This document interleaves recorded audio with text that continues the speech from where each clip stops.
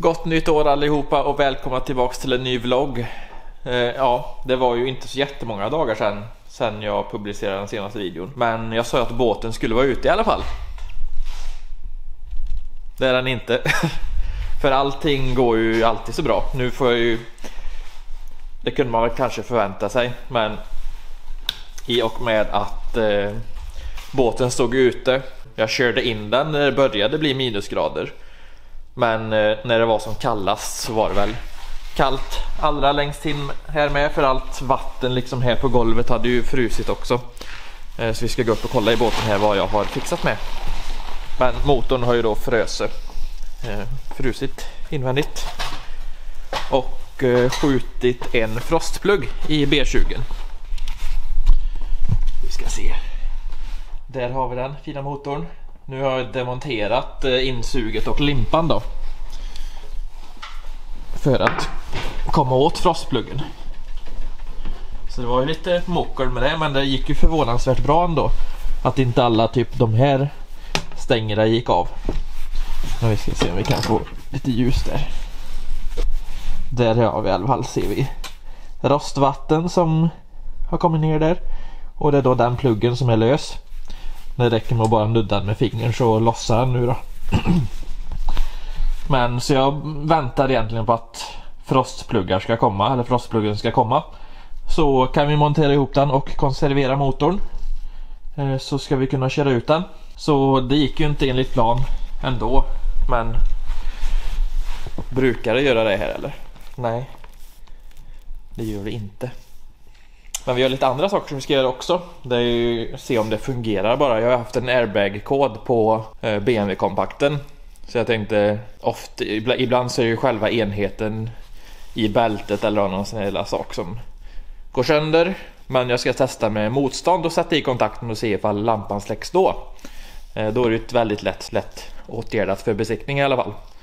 Eh, sen om man vill sätta i sportratt så har jag även köpt ett två ohms motstånd som man kan sätta i kontakten där då så att inte airbag-lampan börjar lysa. Men jag tänker att vi kanske går ut och testar eh, sätta i motståndet. Jag har ju smygkört lite med BMWn eh, ändå påställd och försäkrad och så då. Men eh, ja, egentligen skulle jag egentligen bara köra in den och fixa det sista och sen besikta den. Det var ju de här motstånden då, om det funkar så är ju det bra. Då är ju ett fel åtgärdat men då har vi ett större kvar eh, inför besiktning. Sen så tänker jag att ja, besikta den, se vad det går.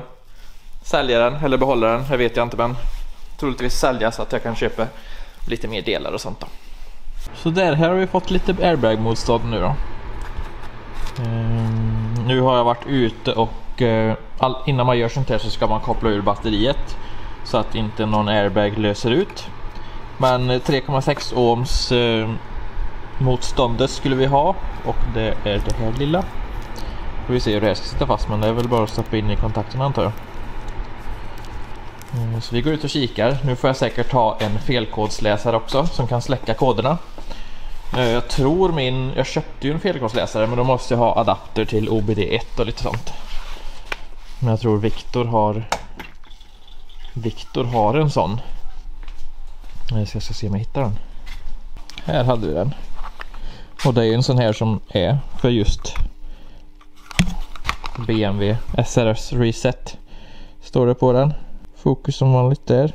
Och så är det konverter från OBD2 till OBD1. Så ja, vi får gå ut och testa här helt enkelt. Så här nere. Bakom här syns det ju inte så bra heller. Där har ni den, den lilla gula grejen där. Så finns det två hål i den. Där vi kan stoppa i motståndet då. Och annars så sitter det nere i själva bältes Belt tensioner heter det. Ner, nere i där men det ser ut som att den här har varit lossad lite förut.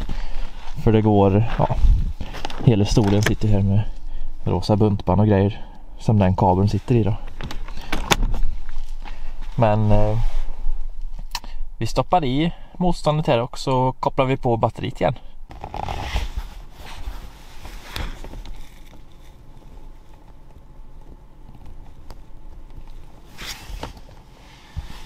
Så där, då sitter motståndet i där. Sen tror vi nog kan böja ner den här igen eh, och lägga ner så att ja, det ligger bra det. Sådär då. Nu har jag ju självklart inte laddat batterierna till kameran heller eh, under tiden. Men nu har jag i alla fall kopplat tillbaka batteriet som ni såg. Nu ska vi ta och stoppa in den här också. I det här facket eller i det här, den här kontakten. Där kom den. Och då börjar den gå igång. Eh, nu ska vi bara sätta på tändningen då. Men där ser ni då att den lampan fortsätter lysa. Jag ser på den här FA, det betyder att vi ska läsa koder.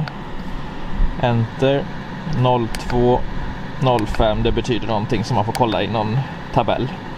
Men då kan vi scrolla här till CA som betyder ta bort felkoder. Då. Så då ska vi se, nu ska de vara borttagna. Och så får vi hoppas att lampan inte skulle lysa då, men det gör den.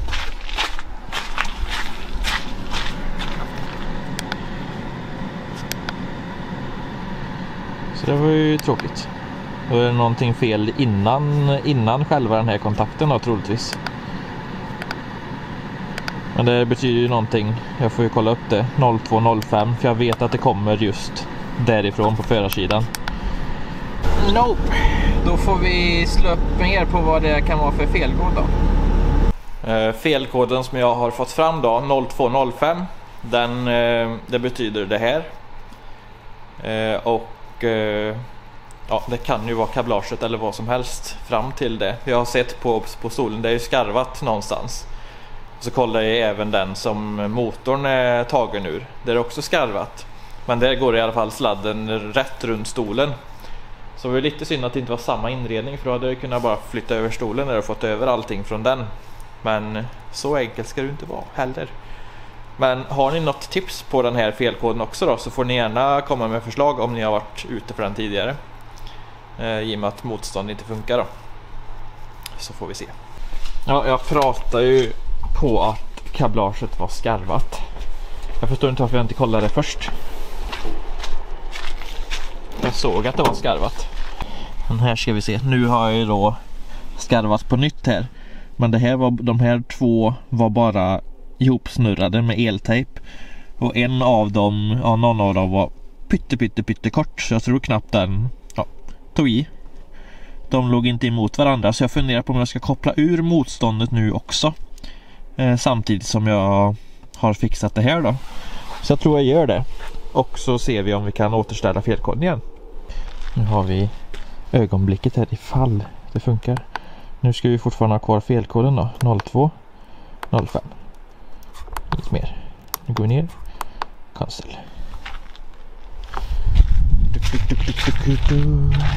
Mm, jajamän. Fan vad bra. Ingen lampa längre. Ja, oh, gud vad gött. Nu har vi ett problem fixat i alla fall. Men det där var ju väldigt slarvigt av den föregående ägaren som har fixat, fixat det där i alla fall. Ja, så jag behöver inte hjälp med felkoden längre som ni märker. Eh, vi betar av listan på bilen. Fan vad gött. Så nu tänkte jag bara att jag skulle fuska med lite sån här i ena bakdäcket där och se om det hjälper. Annars så får jag jag får kolla hur däcken ser ut också om de är godkända för besiktning. Ja, så är det. Jag ska testa den här i alla fall så jag slipper att pumpa upp däcket varje dag i alla fall. Men eh, ja, det går lite framåt. Tyvärr inte med den här, men om några dagar så borde den här vara ute så kan vi dra igång med Sabarna sen. Eh, och sen kommer det lite mellanjobb emellan. Men det kan vi, det tar vi då. Tack i alla fall för att ni kollade på den här vloggen och kul att ni vill fortsätta följa mig. Så vi ses i nästa vlogg. Hejdå!